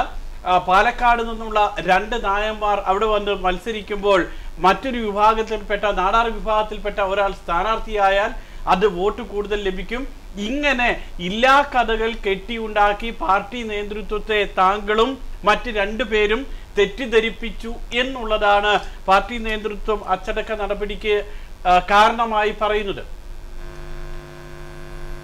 ഈ വസ്തുത വോട്ടിംഗ് കഴിഞ്ഞതിന് ശേഷം റിസൾട്ട് വന്നതിന് ശേഷം ബൂത്ത് തലത്തിൽ പരിശോധിച്ച് മനസ്സിലാക്കേണ്ടതാണ്. ബെനറ്റ് എബ്രഹാമിന് എവിടെ നിന്ന് കൂടുതൽ വോട്ട് കിട്ടി? എവിടെ നിന്നാണ് കുറച്ച് വോട്ട് കിട്ടിയത്? നിനക്ക് എബ്രഹാം ന്യൂനപക്ഷ വിഭാഗത്തിൽപ്പെട്ട ഒരു നാടാർ സമുദായത്തിൽപ്പെട്ട ഒരാളാണ്. അത് ശരിയാണ്. തിരഞ്ഞെടുപ്പിൽ സ്ഥാനാർത്ഥികളെ നിശ്ചയിക്കുമ്പോൾ സ്ഥാനാർത്ഥിയുടെ പൊതു സമ്മതം അതുപോലെ തന്നെ രാഷ്ട്രീയ പാരമ്പര്യം അതുപോലെ മറ്റേ മറ്റ് ജനവിഭാഗങ്ങളിലുള്ള സ്വാധീനം ഇതെല്ലാം കണക്കെടുത്തുകൊണ്ടാണ് ഏത് പാർട്ടിയും സ്ഥാനാർത്ഥി നിർത്തുന്നത്. നേരത്തെ ഞങ്ങൾ നിശ്ചയിച്ച മൂന്ന് നേതാക്കന്മാർ നിൽക്കുന്നില്ല എന്നുള്ള നിലയിലെത്തി. പകരം ആരാണ് സ്ഥാനാർത്ഥി? പലരെയും അന്വേഷിച്ചു. അവരും നിൽക്കുന്നില്ല. അവസാനമാണ് ബെനറ്റ് എബ്രഹാം ഇദ്ദേഹം നിൽക്കാൻ സന്നദ്ധനാണ് എന്നുള്ള വിവരം പാർട്ടി സ്റ്റേറ്റ് സെക്രട്ടറി അറിയിച്ചത് ഡി സി അല്ല അറിയിച്ചത്. അതിന് വേറെ ആളുകൾ ബിഷപ്പ് ഉൾപ്പെടെയുള്ള ആളുകൾ പോയി സ്റ്റേറ്റ് സെക്രട്ടറിയെ കണ്ട് സി ദിവാരനെ കണ്ട് അറിയിച്ചു. ഇദ്ദേഹം നല്ല സ്ഥാനാർത്ഥിയാണ്. സി എസ് ഐയുടെ ഈ മെഡിക്കൽ കോളേജിൽ ഡയറക്ടറാണ്. അവരുടെ വോട്ട് നല്ലപോലെ കിട്ടും. അവർക്കൊരു നാലര ലക്ഷം വോട്ടുണ്ട്. ആ വോട്ടും എൽ ഡി എഫിന്റെ പൊളിറ്റിക്കൽ വോട്ടും കൂടി ചേർക്കുമ്പോൾ ഈ സീറ്റിൽ നിശ്ചയമായും ബെനറ്റ് അബ്രഹാം ജയിക്കും. അതുകൊണ്ട് നിങ്ങൾ പരിശോധിക്കണം. അങ്ങനെ ഒരു പരിശോധന നടത്താൻ അവർ പറഞ്ഞു സി പി ഐ അല്ല പക്ഷേ പക്ഷേ പക്ഷേ പക്ഷേ ശ്രീ വെഞ്ഞാറമൂട് ശശി അവിടെ ഒരു സംശയം വീണ്ടും പാർട്ടി നേതൃത്വം പറയുന്നത് ഒരിക്കൽ പോലും സ്ഥാനാർത്ഥിയാകാൻ സാധ്യതയില്ലാത്ത മൂന്ന് പേരുടെ പേര് നിങ്ങൾ മുന്നോട്ട് വെച്ചു. സി ദിവാകരൻ നിയമസഭാ കക്ഷി നേതാവാണ്. അതുപോലെയുള്ള മൂന്ന് പേരുടെ പേരുകളാണ് നിങ്ങൾ മുന്നോട്ട് വെച്ചത്. അതുകൊണ്ട് തന്നെ ആ പേര് ലിസ്റ്റ് തള്ളുമെന്ന് നിങ്ങൾക്ക് ഉറപ്പായിരുന്നു. അതുകൊണ്ട് അതിലൂടെ മറ്റൊരാളെ കൊണ്ടുവരാൻ വേണ്ടി ശ്രമിച്ചു. അങ്ങനെയൊക്കെയാണ് ആരോപണങ്ങൾ വരുന്നത്. സി ദിവാകരന്റെയും അതുപോലെ തന്നെ രാമേന്ദ്രൻ നായരുടെയും മറ്റൊരു state executive member G P ഉണ്ണികൃഷ്ണന്റെയും സാന്നിധ്യത്തിലാണ് ഞങ്ങൾ ഈ മൂന്ന് പേരുടെ പാനൽ തയ്യാറാക്കി വെച്ചത്. അവർക്കിതിൽ മത്സരിക്കാൻ അവർ സന്നദ്ധരല്ല എങ്കിൽ എന്തുകൊണ്ട് ആ സന്ദർഭത്തിൽ ഓണസ്റ്റ് ആയിട്ട് പറഞ്ഞുകൂടാ? ഞങ്ങൾ മത്സരിക്കുന്നില്ല. ഞങ്ങളെ പേര് ഒഴിവാക്കണം. അത് അവരുടെ സാന്നിധ്യത്തിലാണ്. അങ്ങനെ സാന്നിധ്യത്തിൽ തീരുമാനിച്ച പന്നിയുടെ വീണ്ടും തന്നില്ലായിരുന്നു ആ പാനലാണ് ഈ മൂന്ന് പേരുടെ പാനൽ അത് കൊടുത്തു. അപ്പോ യഥാർത്ഥത്തിൽ ഈ നേതാക്കന്മാരാണ് ചെയ്യേണ്ടത്. അത് ഞങ്ങളല്ല. അവരുടെ സാന്നിധ്യത്തിൽ തീരുമാനിച്ചു. അവർക്ക് നിൽക്കാൻ പറ്റില്ലെങ്കിൽ അവർ പറയണം ഞങ്ങൾ നിൽക്കുന്നില്ല. തീരെ ആര് നിൽക്കണം എന്നുള്ളതിനെ കുറിച്ച് വലിയ ചർച്ച ചെയ്തു പക്ഷെ അതിൽ ചില പേരുകൾ വന്നു. ഇപ്പൊ ബിനോയ് വിശ്വം ആ ബിനോയ് വിശ്വത്തിന്റെ പേര് വന്നു. അതുപോലെ ഈ ചന്ദ്രശേഖരൻ നായരുടെ പേര് വന്നു. ഇങ്ങനെ ചില പേരുകളെല്ലാം വന്നു. അത് ആ ആ മിനിസ് മുഴുവനും ശരത് അബ്രഹാമിന്റെ പേര് വന്നു. ആ മിനിസ് മുഴുവനും പാർട്ടി സംസ്ഥാന കൗൺസിലിനെ ഏൽപ്പിച്ചു. ശ്രീ ശ്രീ ശ്രീ സംസ്ഥാന കൗൺസിലിനെ ഏൽപ്പിച്ചു. അതെ സംസ്ഥാന കൗൺസിലിനെ ഏൽപ്പിച്ചു. സംസ്ഥാന കൗൺസിലും സെക്രട്ടേറിയറ്റും എല്ലാം തന്നെയാണ് തീരുമാനമെടുക്കുന്നത്. താങ്കൾ പറഞ്ഞതുപോലെ ഇനി മറ്റൊരു വിഷയം വരുന്നത് ഈ പറയുന്നത് പോലെ ഇന്നിപ്പോൾ സി എ കുര്യൻ പറഞ്ഞതുപോലെ ഈ സ്ഥാനാർത്ഥി നിർണയത്തിൽ കാനം രാജേന്ദ്രനും കെ ഇ ഇസ്മായിലിനും എല്ലാമുള്ള പങ്ക് പരിശോധിക്കണം. അപ്പോൾ അങ്ങനെയുള്ള പരിശോധനകളൊന്നും വന്നില്ല. അത് പാർട്ടി നേതൃത്വത്തിന് പറ്റിയ തെറ്റല്ലേ? അതല്ലേ രാമചന്ദ്രൻ നായർ പറയുന്നത്? ഒരു നീതി നിഷേധം ഞങ്ങളുടെ കാര്യത്തിൽ പാർട്ടി നേതൃത്വം കാണിച്ചു. എന്ന് പറയുമ്പോൾ കൃത്യമായി തന്നെ ആദ്യം മൂന്ന് പേരെ തെരഞ്ഞെടുക്കുകയും അവർക്കെതിരെ കുറ്റം ചുമത്തുകയും അവർക്കെതിരെ നടപടിയെടുക്കുകയും ചെയ്തു. അതാണ് സംഭവിച്ചതെന്നാണ് പറയുന്നത് അല്ലെ? ഒരു കാര്യം ഞാൻ വ്യക്തമാക്കാൻ ആഗ്രഹിക്കുന്നു. നാഷണൽ എക്സിക്യൂട്ടീവിലുള്ള നാല് സഹാക്കൾ ഉൾപ്പെടുന്നതാണ് സ്റ്റേറ്റ് സെക്രട്ടേറിയറ്റ് ആ സ്റ്റേറ്റ് സെക്രട്ടറി സെക്രട്ടേറിയറ്റിൽ അവരുടെ സാന്നിധ്യത്തിൽ യോഗം ചേർന്നാണ് ഈ ബെനറ്റ് എബ്രഹാമിനെ തീരുമാനിക്കുന്നത്. അവരോരോരുത്തരും സ്റ്റേറ്റ് നിന്ന് പ്രസംഗിച്ചു. ബെനറ്റ് എബ്രഹാം പറ്റിയ സ്ഥാനാർത്ഥിയാണ്. നല്ല സ്ഥാനാർത്ഥിയാണ്. അയാളെ നിർത്തണം മത്സരിപ്പിക്കണം. കാനൻ രാജേന്ദ്രൻ അതുപോലെ കെ ഇസ്മായിൽ അത് കഴിഞ്ഞ് സി ദിവാകരൻ അത് കഴിഞ്ഞ് പന്നിയൻ രവീന്ദ്രൻ. ഇവർ പ്രസംഗിച്ചു എക്സിക്യൂട്ടീവിൽ ഈ പേര് നമ്മൾ അംഗീകരിക്കണം. അങ്ങനെ അംഗീകരിച്ചു വന്ന പേര് സ്ഥാനാർത്ഥിയാവുമ്പോൾ ഒരു ജില്ലാ സെക്രട്ടറിയായി എനിക്ക് അതിലെന്താണ് വലിയ പങ്ക്? സാധാരണ കമ്മ്യൂണിസ്റ്റ് പാർട്ടിയുടെ ഭരണഘടന അനുസരിച്ച് ഒരു രാഷ്ട്രീയ നേതൃത്വമാണ് തീരുമാനം എടുക്കുന്നത്. അങ്ങനെ തീരുമാനമെടുക്കേണ്ട ഒരു നേതൃത്വ ഘടകം ഒരു തീരുമാനമെടുത്തു സ്ഥാനാർത്ഥി വന്നു. ആ സ്ഥാനാർത്ഥിക്ക് എന്ത് സംഭവിച്ചാലും അതിന് ഉത്തരം പറയേണ്ട ഒന്നാമത്തെ കക്ഷികൾ എന്ന് പറയുന്നത് ഈ നാഷണൽ എക്സിക്യൂട്ടീവിലെ നാലുപേരും സ്റ്റേറ്റ് സെക്രട്ടറിയുടെ നാലുപേരുമാണ് ശ്രീ വെഞ്ഞാറമൂടി ചേച്ചി അങ്ങനെയാണെങ്കിൽ എന്തുകൊണ്ടായിരിക്കും നിങ്ങളുടെ മൂന്ന് പേരുടെയും അടുത്തേക്ക് മാത്രം ഈ നടപടി വന്നിട്ടുണ്ടാവുക? അത് അതിപ്പോ എനിക്കതിനെ കുറിച്ച് പറയാൻ പറ്റില്ല. അത് നടപടി എടുത്തവരോട് ചോദിക്കേണ്ട ചോദ്യമാണ്. ഏതായാലും അവസാനമായ ഒരു കാര്യം കൂടെ. താങ്കൾ പറയുന്നു പാവ സെക്രട്ടറിയാണ് എന്നെല്ലാം പറയുന്നു. അതോടൊപ്പം പാർട്ടിയിൽ നിന്ന് വിട്ടുപോവുക എന്നുള്ളതാണ് താങ്കളുടെ ആലോചന എന്ന് പറയുന്നു എന്താണ് അടുത്ത പരിപാടി? ഒന്ന് കൺട്രോൾ കമ്മീഷന് പരാതി നൽകുന്നുണ്ടോ? അതുമല്ലെങ്കിൽ സി പി ഐയിൽ തുടരുകയാണോ? എന്താണ് താങ്കളുടെ ആലോചനയിലുള്ളത്? ഞാനത് നാൽപ്പത്തിയെട്ട് വർഷക്കാലമായി സി പി ഐയിൽ പ്രവർത്തിച്ചുകൊണ്ടിരിക്കുകയാണ്. വളരെ ബുദ്ധിമുട്ടുകളും പ്രയാസങ്ങളും എല്ലാം നേരിട്ടുകൊണ്ടാണ്. പല വെല്ലുവിളികളെയും നേരിട്ടുകൊണ്ടാണ് ഞാൻ പ്രവർത്തിച്ചുകൊണ്ടിരുന്നത്. സി പി ഐ എന്റെ ജീവിതത്തിലെ ഏറ്റവും വലിയൊരു ഭാഗമാണ്. സി പി ഐ വിടുക എന്ന് പറയുന്നത് എനിക്ക് ഒരു കാലത്ത് ചിന്തിക്കാൻ പോലും കഴിയാത്തതാണ്. പക്ഷെ ഇപ്പോ പാർട്ടി നേതൃത്വം പോകുന്ന പോക്ക് ഒരു കോക്കസിന്റെ കയ്യിൽ ഈ പാർട്ടിയെ കൊണ്ടു കൊടുക്കാൻ ഉള്ള നീക്കങ്ങളാണ്. ആ പാർട്ടി ഒരു ഉപ്പാർട്ടി സമരം നടത്തി. പാർട്ടിയെ രക്ഷിക്കാൻ കഴിയില്ല എന്ന് കഴിഞ്ഞ കാല അനുഭവങ്ങൾ ബോധ്യപ്പെട്ടത് കൊണ്ടാണ് ഞാൻ പാർട്ടി വിടാൻ തീരുമാനിച്ചത്. സി പി വിടുന്നു. ഞാൻ ഏത് പാർട്ടിയിൽ ചേരുന്നു എന്നുള്ള കാര്യം ഞാൻ ഇതുവരെയും പറഞ്ഞു. ഒരു കാര്യം പറഞ്ഞു. ഞാനൊരു ഇടതുപക്ഷക്കാരനായി ഒരു കമ്മ്യൂണിസ്റ്റുകാരനായി ഇനിയുള്ള കാലത്ത് എന്റെ രാഷ്ട്രീയ പ്രവർത്തനം നടത്തും. പൊതുരംഗത്ത് നിന്നും രാഷ്ട്രീയ രംഗത്ത് നിന്നും ഞാൻ പിന്മാറുന്ന പ്രശ്നമേ ഇല്ല. ഒരു ഒരു സംശയം കൊണ്ട് ഒരു ആകാംക്ഷ കൊണ്ട് ഒരു ആകാംക്ഷ കൊണ്ട് ചോദിക്കുകയാണ് ശ്രീ കമ്മ്യൂണിസ്റ്റുകാരനായി മുന്നോട്ട് പോകും. ഒരു ഒരു ആകാംക്ഷ കൊണ്ട് ചോദിക്കുകയാണ് താങ്കൾ ഇത്രയും നാല്പത്തിരണ്ട് വർഷം പ്രവർത്തിച്ച ഒരാളെന്നുള്ള രീതിയിൽ സി പി എം ആയിരിക്കുമോ? കുറെ കൂടെ യോജിച്ചത് സി പി എമ്മിലേക്ക് പോകുന്നതായിരിക്കില്ലേ ഉചിതം? കാരണം ആ ഒരു കമ്മ്യൂണിസ്റ്റ് പാരമ്പര്യമൊക്കെ വെച്ച് നോക്കുമ്പോൾ. ഞാൻ സി പി എമ്മിലേക്ക് ഒന്നും പോകുന്ന കാര്യം പറഞ്ഞു. ഏത് പാർട്ടിയിലേക്ക് പോകുന്നു എന്നുള്ള കാര്യമൊന്നും പറഞ്ഞില്ല.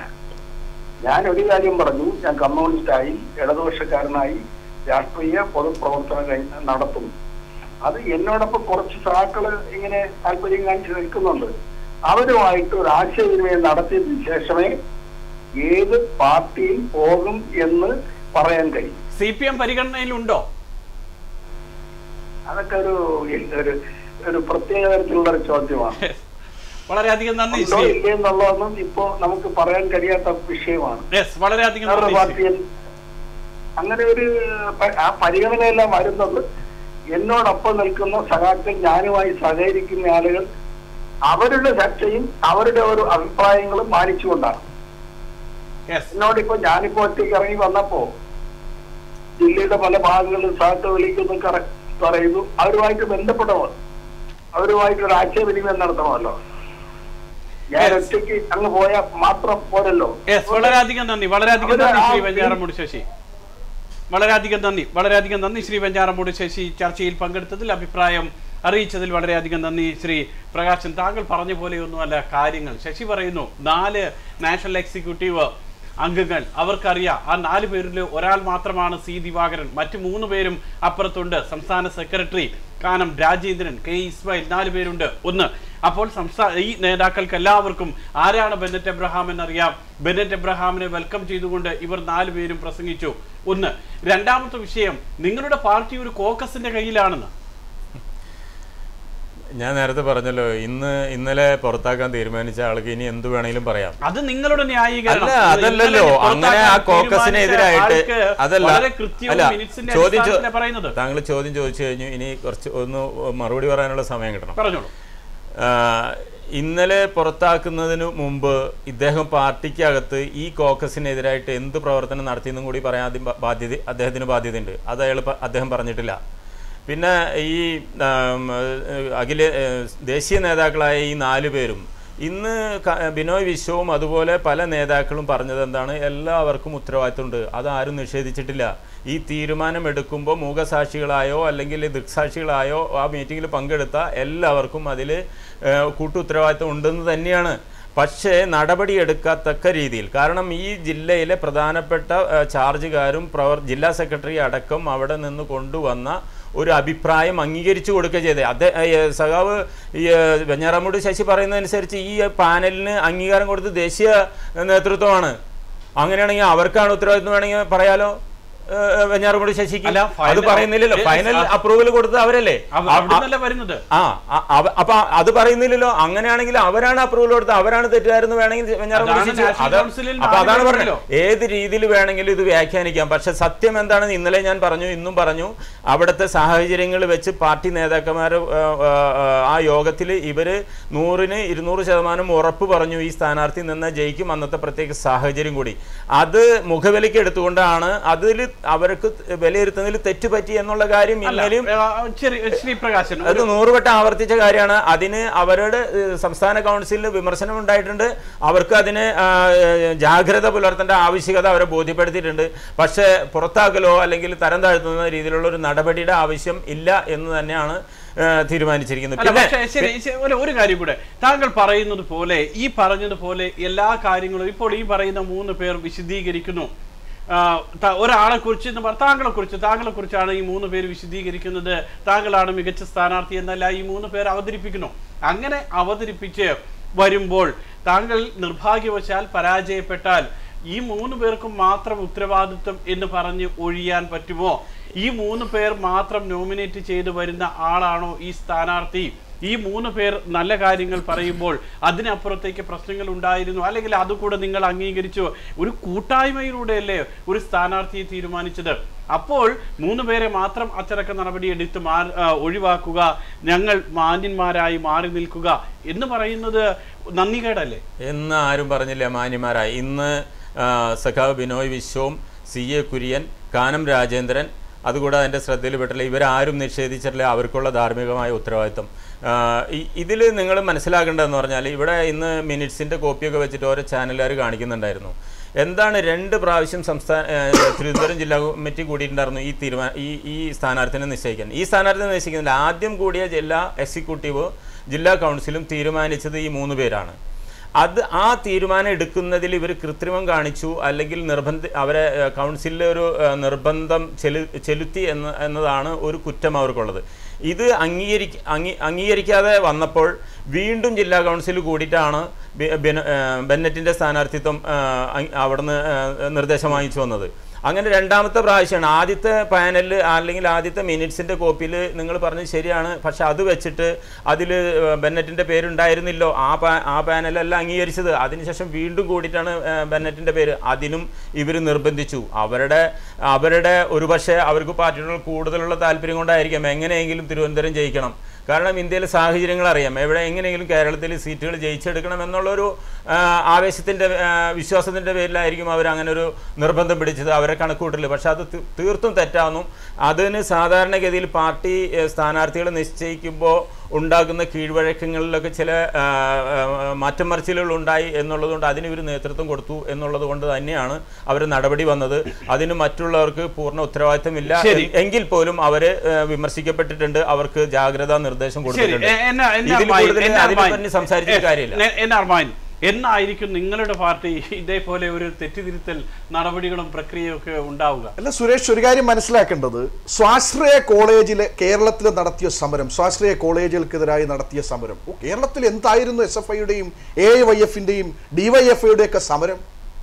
അങ്ങനെ ബെനറ്റ് എബ്രഹാമിന്റെ കോളേജിനെതിരെ സമരം നടത്തിയവർ A Y A I Y എഫുകാരാ.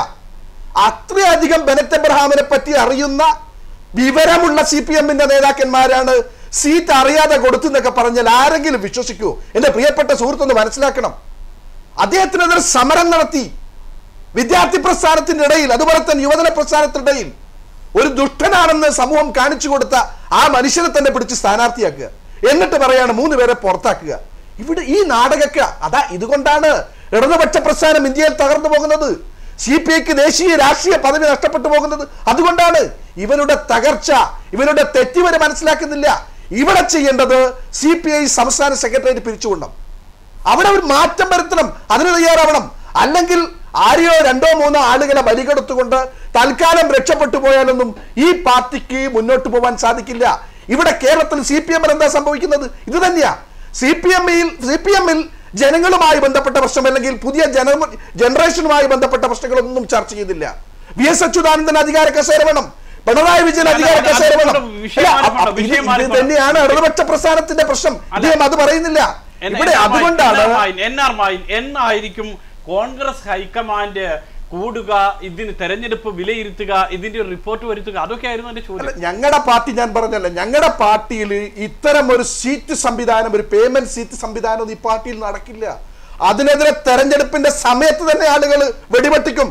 ശക്തമായ പ്രതിഷേധം ഞാൻ പറഞ്ഞില്ലേ ജോയിസ് ജോർജിനെയൊക്കെ എങ്ങനെ സ്ഥാനാർത്ഥിയാക്കി? നിങ്ങൾ ആലോചിച്ച് നോക്കണം സി പി എം സ്വതന്ത്ര പിന്തുണ കൊടുത്ത ജയത്തിന് എങ്ങനെ ക്രിസ്റ്റി ഫെർണാണ്ടസ് ഈ ഇന്നസെന്റ് ഒക്കെ ജയിച്ചത് ഞങ്ങളുടെ നേതൃത്വത്തിന്റെ പരാജയ. ഞങ്ങൾ പറയുക ഞങ്ങൾക്ക് കാലിവരുള്ള സ്ഥാനാർത്ഥികൾ പലപ്പോഴും പല സ്ഥലത്തും വെക്കാൻ സാധിക്കാത്തത് കൊണ്ടാണ് ഇന്നസെന്റിനെ പോലെയുള്ള സ്ഥാനാർത്ഥികളൊക്കെ ജയിച്ചത്. അല്ല അതൊന്നുമല്ല. ഞങ്ങളുടെ പരാജയ. അത് ഞങ്ങൾ സമ്മതിക്കുന്നു അപ്പോ ഇവിടുത്തെ ഒരു പ്രധാന പ്രശ്നം അതല്ല. ഇവിടുത്തെ പ്രധാന പ്രശ്നം സി പി ഐയും സി പി എമ്മും ഇന്ന് പണക്കാരുടെ കയ്യിലാണ് പണം കോടിക്കണക്കിന് രൂപയാണ് ബെനറ്റ് കൊടുത്തത്. ബെനറ്റ് തന്നെ പറഞ്ഞു കണക്കുകൾ ഞാൻ സംസ്ഥാന കമ്മിറ്റിയിലേക്ക് അയച്ചു കൊടുത്തിട്ടുണ്ട്. അവരാകെ പേടിച്ചിരിക്കുക ഈ കണക്ക് പുറത്തു കാണിച്ചു കൊടുക്കാൻ പറ്റുമോ? കാരണം ഈ കണക്കുകൾ ചെലവാക്കിയ കോടിക്കണക്കിന് രൂപയുടെ കണക്കുകളാണ് അപ്പോൾ ഇവിടെ സി പി ഐ വലിയ കെണിയിൽപ്പെട്ടിരിക്കുക ഈ കെണിയിൽപ്പെട്ട സി പി ഐ രക്ഷപ്പെടുത്താൻ സാധിക്കില്ല. അതുകൊണ്ട് എന്റെ പ്രിയപ്പെട്ട സഹപ്രവർത്തകനൊക്കെ ചെയ്യേണ്ടത് പാർട്ടിക്കകത്ത് സത്യസന്ധമായ ജീർണതയിലാക്കാൻ നിൽക്കാനുള്ള ശ്രമങ്ങളാണ് നടത്തേണ്ടത്. അല്ലാണ്ട് ഒരു കോക്കസ് സൃഷ്ടിച്ചുകൊണ്ട് ചില നേതാക്കന്മാരെ പുറത്താക്കിയത് കൊണ്ട് മാത്രം സി പി ഐ രക്ഷപ്പെട്ടുമെന്ന് വിശ്വസിക്കുന്ന ജനതയല്ല കേരളത്തിലെ ജനങ്ങൾ. പ്രകാശൻ പ്രകാശൻ ഈ പറയുന്നത് പോലെ ഇപ്പോൾ ഈ പറയുന്ന ബെന്നറ്റ് എബ്രഹാം അതുമല്ലെങ്കിൽ വെഞ്ഞാറമൂട് ശശി സി എ- ദിവാകരൻ ഇവരെല്ലാം വിടുക രാമേന്ദ്രൻ നായർ എല്ലാവരെയും വിടുക. എല്ലാവരെയും വിട്ട് എല്ലാവരെയും പാർട്ടി വെറും പാർട്ടി നേതാക്കളെന്നോ അണികളെന്നോ ഒക്കെ ആയി ചിന്തിക്കുക. ഏതൊരു അണി ഏതൊരു വ്യക്തി ഇങ്ങനെ ചെയ്തു എങ്കിൽ പോലും ഇതൊരു സി പി ഐ ആണ്. അല്ലെങ്കിൽ മറ്റുള്ള പാർട്ടി അല്ല. സി പി ഐയിൽ നിന്ന് സമൂഹം പ്രതീക്ഷിച്ചിരുന്ന പലതും ഉണ്ടായിരുന്നു. അത് സി പി ഐക്ക് നഷ്ടപ്പെട്ട് പ്രതിസന്ധിയിലായി നാണക്കേടിലാകുന്ന ഒരു സാഹചര്യം. ഇത് പാർട്ടിക്ക് വലിയ പ്രതിസന്ധിയാവില്ലേ ഉണ്ടാവുക? സംഘടനാ തെരഞ്ഞെടുപ്പ് വരാനിരിക്കുകയാണ്. എന്തായാലും ബഹുമാനായ ശ്രീ മായൻ പറഞ്ഞതിനോട് അദ്ദേഹത്തിന്റെ സി പി ഐയെ കുറിച്ചുള്ള ഉത്കണ്ഠ ഞാൻ ഉൾക്കൊള്ളുക. എന്തായാലും അദ്ദേഹത്തിന് ആ ഉത്കണ്ഠ ഉണ്ടെന്ന് അറിയുന്നതിൽ നമുക്ക് സന്തോഷമുണ്ട്. കാരണം ഒന്നാമത് ഇവിടെ ഇടതുപക്ഷത്തിന്റെ മൊത്തമായിട്ട് പറയുമ്പോൾ ഒരു ഇവിടെ സാന്നിധ്യമില്ലാത്ത ഒരു പാർട്ടിയെ കുറിച്ച് പറയുമ്പോൾ അവർക്ക് മറുപടി പറയാൻ അവസരമില്ല എന്നുള്ളതുകൊണ്ട് അവരെ ഒഴിവാക്കി സംസാരിക്കണം എന്നുള്ള അഭിപ്രായമാണുള്ളത്. പിന്നെ അവർക്ക് എല്ലാവർക്കും കൂടി ഒരു മിനിറ്റ് നിങ്ങൾ പറഞ്ഞു കഴിഞ്ഞല്ലോ ഇനിയിപ്പോ സമയം തീരും. പറയാനുള്ളത് പറഞ്ഞു കഴിഞ്ഞല്ലോ അപ്പോ ഇടതുപക്ഷത്തിന് മൊത്തമായിട്ട് മറുപടി പറയേണ്ട ബാധ്യത ഇപ്പൊ എനിക്കില്ല. ഞാൻ സി പി ഐക്ക് മാത്രമായിട്ട് സി പി ഐയുടെ കാര്യങ്ങൾ മാത്രം പറയാം. കാരണം അത് ഒരു ഞാൻ നേരത്തെ പറഞ്ഞ പോലെ അവരുടെ സാന്നിധ്യത്തിൽ ഉന്നയിക്കേണ്ടതായിരുന്നു. അവർക്ക് അതിന് തക്കതായ മറുപടി പറയാനുണ്ടാവും. ഓക്കെ സി പി ഐ സംബന്ധിച്ചിടത്തോളം നിങ്ങൾക്ക് ആർക്കും ആശങ്ക വേണ്ട. ഇന്ന് സമൂഹത്തിൽ ഒരുപാട് അപജയങ്ങൾ നടക്കുന്നുണ്ട്. ഇന്ത്യൻ രാഷ്ട്രീയത്തിൽ ഏത് രാഷ്ട്രീയ പാർട്ടി എടുത്തു നോക്കിയാലും അവരെ ബാധിച്ചിട്ടുള്ള അപജയങ്ങളിൽ ഏറ്റവും കുറവ് ബാധിച്ചിട്ടുള്ളത് സി പി ഐക്കാണെന്ന് എനിക്ക് തർപ്പിച്ച് പറയാം. ഇല്ല എന്ന് ഞാൻ പറയുന്നില്ല. വേണമെങ്കിൽ അങ്ങനെ വേണമെങ്കിൽ വാദിക്കാം. ഞാൻ അങ്ങനെ പറയുന്നില്ല. ഏറ്റവും കുറവ് വളരെ കുറവ് മാത്രമാണ് അത്തരത്തിലുള്ളൂ. കാരണം സമൂഹം ആ രീതിയിൽ പോകുന്നു. രാഷ്ട്രീയ പാർട്ടികൾ എല്ലാം ആ ആ- രീതിയിൽ നടക്കുമ്പോൾ അപൂർവമായിട്ട് അത്തരം സാഹചര്യങ്ങളും പക്ഷേ കമ്മ്യൂണിസ്റ്റ് പാർട്ടിയുടെ അണികൾ ജാഗ്രതയുള്ളവരാണ്.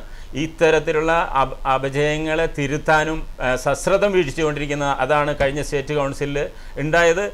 സ്റ്റേറ്റ് കൗൺസിലിൽ മിണിഞ്ഞാന്ന് വന്നത്തെ പത്രത്തിൽ രണ്ട് ദിവസം സംസ്ഥാന കൗൺസിൽ കൂടി. ആദ്യം കൂടിയ സംസ്ഥാന കൗൺസിലിലെ തീരുമാനങ്ങൾ പത്രക്കാർക്ക് എങ്ങനെ കിട്ടിയെന്ന് അറിയില്ല. എന്തായാലും പത്രക്കാർ എഴുതിയല്ലോ പങ്കെടുത്ത മുഴുവൻ പേരും രാജിവെക്കണം ഇന്നവർ രാജിവെക്കണം അല്ലെങ്കിൽ നടപടി വേണമെന്ന് ആവശ്യപ്പെട്ടു. ആരും അവരെ സപ്പോർട്ട് ചെയ്യേണ്ടെന്ന് ഒരു പത്രക്കാർ എഴുതിയിട്ടില്ല. അതുകൊണ്ട് നിങ്ങൾക്ക് നേതൃത്വത്തിൽ ആരെങ്കിലും അങ്ങനെ തെറ്റുപറ്റിയിട്ടുണ്ടെങ്കിൽ കമ്മ്യൂണിസ്റ്റ് പാർട്ടിയുടെ അണികൾ ജാഗരൂകരാണ്. അതിന് അത് കമ്മ്യൂണിസ്റ്റ് പാർട്ടിയുടെ ചരിത്രം അതാണ്. ആ കമ്മ്യൂണിസ്റ്റ് പാർട്ടിയുടെ ചരിത്രം അറിയാത്തവർ ഒരു പഞ്ചായത്ത് പ്രസിഡന്റ് സ്ഥാനം പോലും അല്ലെങ്കിൽ ഒരു പഞ്ചായത്ത് മെമ്പർ സ്ഥാനം പോലും ആഗ്രഹിക്കാതെ ആയിരത്തി തൊള്ളായിരത്തി നാൽപ്പത്തി ഏഴിനോ അല്ലെങ്കിൽ അമ്പത്തി ഏഴിനോ മുമ്പ് കമ്മ്യൂണിസ്റ്റ് പാർട്ടിക്ക് വേണ്ടിയിട്ട് പടപൊരുതി ജീവൻ കളഞ്ഞ ആ സഖാക്കളെ മറന്നുകൊണ്ട് ഒരു നേതാവിനും. മുന്നോട്ട് പോകാൻ കഴിയില്ല. അതിന് തക്കതായ ശിക്ഷ അല്ലെങ്കിൽ ഒരു പ്രേക്ഷകരിലേക്ക്. ഹലോ കേൾക്കാമോ?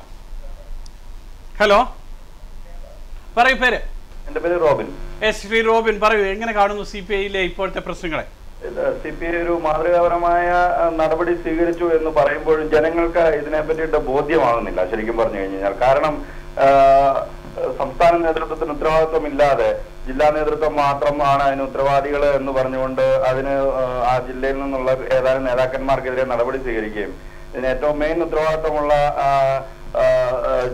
സംസ്ഥാന നേതൃത്വത്തിനെ തെറ്റിദ്ധരിപ്പിച്ചാണ് ഇങ്ങനൊരു ഇത് നടത്തിയതെന്ന് പറയുമ്പോൾ ഈ സംസ്ഥാന നേതൃത്വത്തിന് തിരുവനന്തപുരം ജില്ലയെ പറ്റി അറിയാൻ പാടില്ല എന്ന് പറഞ്ഞു കഴിഞ്ഞാൽ ആ കഷ്ടം എന്ന് മാത്രമേ പറയാൻ സാധിക്കുകയുള്ളൂ. അതുകൂടാതെ തന്നെ എനിക്ക് പറയാനുള്ളത് ഇപ്പോൾ ചിരിച്ചുകൊണ്ടിരിക്കുന്ന ഒരു കൂട്ടരുണ്ട്. കാരണം എറണാകുളത്തെ ക്രിസ്റ്റി ഫെർണാണ്ടസ് ഇതുപോലെ തന്നെ ഒരു പേയ്മെന്റ് സീറ്റ് ആയിരുന്നു. അവർ വളരെ ബുദ്ധിപരമായിട്ട് അതിനെ പറ്റിയിട്ട് മിണ്ടാതിരിക്കുകയാണ്. കാരണം എന്താണെന്ന് വെച്ച് കഴിഞ്ഞാൽ അതേപറ്റി സംസാരിക്കുക ഒരു അന്വേഷണ കമ്മീഷനെ വെക്കുകയോ അതിന്റെ എത്ര രൂപ കിട്ടി എന്നുള്ളതോ അല്ല വാങ്ങിച്ചു എന്നുള്ളതോ അല്ലെങ്കിൽ എന്തുകൊണ്ട് തോൽവി സംഭവിച്ചു എന്നുള്ളതോ അന്വേഷിച്ചു കഴിഞ്ഞു കഴിഞ്ഞാൽ ഇതിനേക്കാൾ വലിയ നാണക്കേടാകും എന്നുള്ളത് കൊണ്ട് തന്നെ അവർ വളരെ ബുദ്ധിപരമായിട്ട് മിണ്ടാതിരിക്കുകയാണ്. യെസ് വളരെയധികം നന്ദി റോബിൻ. സമയക്കുറവുണ്ട്. അതുകൊണ്ടാണ് മറ്റു കാര്യങ്ങളിലേക്ക് കിടക്കാത്ത ശ്രീ എൻ ആർ മായൻ അവസാനമായി ഏതായാലും സി പി ഐ ഇത്തരമൊരു നടപടിയിലേക്ക് പോയി സംസ്ഥാനത്തെ ആദ്യ പാർട്ടി എന്നുള്ള രീതിയിൽ സി പി ഐയെ അഭിനന്ദിക്കേണ്ടത് അല്ല സുരേഷ് ഇവിടുത്തെ ഒരു പ്രധാന പ്രശ്നം മനസ്സിലാക്കേണ്ടത് ഇടതുപക്ഷ പ്രസ്ഥാനത്തിന്റെ ചരിത്രത്തിലാദ്യമാണ് പരസ്യമായ ഒരു പേയ്മെന്റ് സീറ്റ് അദ്ദേഹത്തിന് പോലും നിഷേധിക്കാൻ സാധിക്കില്ല. ഒരുപാട് പണം വാങ്ങിച്ചിട്ടുണ്ട്. അത് സമൂഹത്തിന് മനസ്സിലായി. മാധ്യമങ്ങൾക്ക് മനസ്സിലായി. അല്ല എല്ലാവർക്കും അറിയാവുന്ന കാര്യം നിങ്ങൾ ഇനി എത്ര നിഷേധിച്ചിട്ടും നിങ്ങൾ ഇനി എത്ര നിഷേധിച്ചിട്ടും കാര്യമില്ല. കേരളത്തിന്റെ ചരിത്രത്തിൽ ആദ്യമായി ഇടതുപക്ഷ പ്രസ്ഥാനം അത് അത്ഭുതപ്പെടുത്തും സി പി ഐ പോലെയുള്ള ഇടതുപക്ഷ പ്രസ്ഥാനത്തിനെ പോലും കയ്യിൽ പിടിച്ചെടുക്കാൻ പറ്റുന്ന ഒരു സാമ്പത്തിക സ്രോതസ് ഇന്ത്യയിലും കേരളത്തിലും വളർന്നിരിക്കുന്നു. അതിന്റെ പാപകളായി സി പി ഐ നേതാക്കന്മാർ മാറിയിരിക്കുന്നു. അവിടെയാണ് നിങ്ങൾ മാറ്റം വരുത്താൻ ശ്രമിക്കേണ്ടത്. ആ പാർട്ടിയെ മരുന്ന് കൊടുത്ത് ചികിത്സിക്കേണ്ട സമയം അതിക്രമിച്ചിരിക്കുന്നു അവസാനമായ രണ്ടു വാക്ക് ശ്രീ പി എം പ്രകാശ്. ആ കാര്യത്തിൽ ശ്രീമാൻ മായൻ ഒരു ആ, ആശങ്കയ്ക്കും വകയില്ല കമ്മ്യൂണിസ്റ്റ് പാർട്ടിയിൽ അങ്ങനെ ഒരാളും ഒരു കോർപ്പറേറ്റുകളോ മറ്റാരും കമ്മ്യൂണിസ്റ്റ് പാർട്ടിയെ ഒതുക്കില്ല എന്ന് ഞാൻ ഉറപ്പ് തരാൻ ആഗ്രഹിക്കുന്നതാണ് അതുപോലെ തന്നെ ഇന്ന് ഉണ്ടായ ഒരു വേറൊരു സംഭവവികാസം സഖാവ് സി ദിവാകരനേതായിട്ടുള്ള നടപടിയെക്കുറിച്ച് കുറിച്ച് ഈ നമ്മുടെ ചർച്ച തുടങ്ങി അല്ല അത് തുടക്കത്തിൽ പറഞ്ഞു. നമ്മുടെ അവതാരകൻ പറഞ്ഞതുകൊണ്ട് പറയാണ് മിസ്റ്റർ സുരേഷ്. കമ്മ്യൂണിസ്റ്റ് പാർട്ടിയുടെ അഖിലേന്ത്യാ നേതൃത്വം അത് പരിശോധിക്കും ചർച്ച ചെയ്യും അല്ലെങ്കിൽ അത് തെറ്റായി പോയെന്നുള്ള ചിന്തയാണ് ഉള്ളതെന്നുള്ള അർത്ഥം വരുന്ന രീതിയിൽ സംസാരിച്ചു. ഒരിക്കലുമില്ല. ചർച്ച ചെയ്യും സ്വാഭാവികമാണ്. നാഷണൽ എക്സിക്യൂട്ടീവ് മെമ്പർ എന്ന നിലയിൽ സംസ്ഥാനത്ത് വന്ന നടപടി കാര്യം സ്വാഭാവികമായിട്ടും അവിടെ ചർച്ച ചെയ്യും. അല്ലാണ്ട് പുനഃപരിശോധിക്കുന്നതല്ല. ഈ നടപടി തിരുത്തുമെന്നല്ല പറഞ്ഞിരിക്കുന്നത്. പിന്നെ വേറൊരു വാദമുള്ളത് ചാനലുകാരും പത്രക്കാരും പറയുന്നതാണ്. ആളുകളെ തെറ്റിദ്ധരിപ്പിക്കുന്നതാണ്. അഖിലേന്ത്യാ തലത്തിലിരിക്കുന്ന നേതാവിനെ സംസ്ഥാന ഘടകം എങ്ങനെ നടപടിയെടുക്കും എന്നുള്ളൊരു ചോദ്യം വന്നു അതും വസ്തുതയാണ് അ- അ- നിങ്ങൾക്ക് പാർട്ടിയുടെ ഭരണഘടന അറിയാ അറിയാത്തതുകൊണ്ടാണ് ഞാൻ കൊണ്ടുവന്നിട്ടുണ്ട് അതിന്റെ കോപ്പി. പാർട്ടി ഭരണഘടനയുടെ കോപ്പിയാണ്. ഇത് നിങ്ങൾക്ക് ഞാൻ തരാം വായിച്ചു നോക്കണം. പാർട്ടിയിൽ മൂന്ന് ആറ് തരം നടപടികളാണുള്ളത്. ഒന്ന് താക്കീത് രണ്ട് ശാസന. അത് പാർട്ടിക്ക് അകത്ത് നടത്തുന്ന ശാസന. പിന്നെ അതിനേക്കാൾ ഗുരുതരമാണെങ്കിൽ പരസ്യമായ ശാസന. അത് കഴിഞ്ഞാൽ സ്ഥാനങ്ങളിൽ നിന്ന് തരം താഴ്ത്തൽ അത് കഴിഞ്ഞാൽ സസ്പെൻഷൻ അത് കഴിഞ്ഞാൽ ഏറ്റവും അവസാനത്തെ നടപടിയാണ് കടുത്ത നടപടി പുറത്താക്കൽ ഈ പുറത്താക്കലും സസ്പെൻഷനും ഈ രണ്ട് നടപടികൾ മാത്രമാണ് അഖിലേ ഇപ്പം സി ദിവാകരൻ സംസ്ഥാന ഘടകത്തിലും അഖിലേന്ത്യാ തലത്തിലും ഉള്ളതുകൊണ്ട് ഇങ്ങനെ രണ്ട് ഘടകത്തിലുണ്ടെങ്കിൽ അത് മേൽഘടകത്തിന്റെ അംഗീകാരത്തോടു കൂടി ചെയ്യേണ്ട നടപടി അല്ലെങ്കിൽ അവരുടെ അവർക്ക് മാത്രമേ അത് ചെയ്യാൻ കഴിയുള്ളൂ. ഏത് നടപടി? സസ്പെൻഷനും പുറത്താക്കലും. ഇത് ഈ നടപടിയല്ല അദ്ദേഹത്തിന്റെ. തരം താഴ്ത്തലാണ്. ചെയ്തിരിക്കുന്നത്. സസ്പെൻഷനും പുറത്താക്കലും ഭരണഘടന ഭരണഘടന ഇവിടെ ഉണ്ട് നിങ്ങൾക്ക് വായിച്ചു നോക്കാം. എന്റെ ബുക്ക് വേണമെങ്കിൽ ഞാൻ എത്തിച്ചു തരാം ഭരണഘടനയുടെ കോപ്പിയാണ് ഇതാണ്. അപ്പോൾ ജനങ്ങളെ തെറ്റിദ്ധരിപ്പിക്കുന്ന രീതിയിൽ ചാനലുകാർ പറയരുത് എന്നുള്ളത് കൊണ്ടാണ്. സംശയം ഇത്രേ ഉള്ളൂ. തരം താഴ്ത്താൻ കേന്ദ്ര കേന്ദ്ര നേതൃത്വത്തിന്റെ അനുമതി വേണ്ട. വേണ്ട. വളരെയധികം മാത്രമേ വളരെയധികം നന്ദി. വളരെയധികം നന്ദി ചർച്ചയിൽ പങ്കെടുത്തതിൽ. ഏതായാലും സി പി ഐ ഇപ്പോൾ സ്വീകരിച്ച അച്ചടക്ക നടപടി. അത് പാർട്ടിയെ ഭാവിയിൽ ഒരു തെറ്റുതിരുത്തൽ എന്ന് പറഞ്ഞ് ഇതുവരെ സംഭവിച്ച എല്ലാ തെറ്റുകളും ഇല്ലാതാക്കാൻ പാർട്ടിക്ക് കഴിയുമോ എന്നാണ് പ്രൈം ടൈം പരിശോധിച്ചത്. അതോടൊപ്പം ഇപ്പോൾ അച്ചടക്ക നടപടി നേരിട്ട ഈ മൂന്ന് പേർ മാത്രമാണോ ഇതിന് ഉത്തരവാദികൾ? അതിന് ഏതായാലും പാർട്ടി പറയുന്ന വിശദീകരണം എത്രത്തോളം തൃപ്തികരമാണെന്ന് എത്ര ചിന്തിച്ചാലും ഒരുപക്ഷെ മനസ്സിലാകാത്തവരായിരിക്കും കൂടുതലും ഉണ്ടാവുക. ഏതായാലും ചർച്ചയിൽ പങ്കെടുത്ത കോൺഗ്രസ് നേതാവ് Shri N R Mayin P M Prakashan C P I പ്രതിനിധി യുവ കലാസാഹിതി സെൻട്രൽ കമ്മിറ്റി അംഗം അതോടൊപ്പം നമ്മളോടൊപ്പം ടെലഫോണിൽ സംസാരിച്ച ബെന്നറ്റ് എബ്രഹാം തിരുവനന്തപുരത്തെ സ്ഥാനാർത്ഥി വെഞ്ഞാറമൂട് ശശി മുൻ ജില്ലാ സെക്രട്ടറി. ചർച്ചയിലേക്ക് വിളിച്ച പ്രേക്ഷകർക്കും നന്ദി. മറ്റു വാർത്തകൾ ഇടവേളയ്ക്ക് ശേഷം.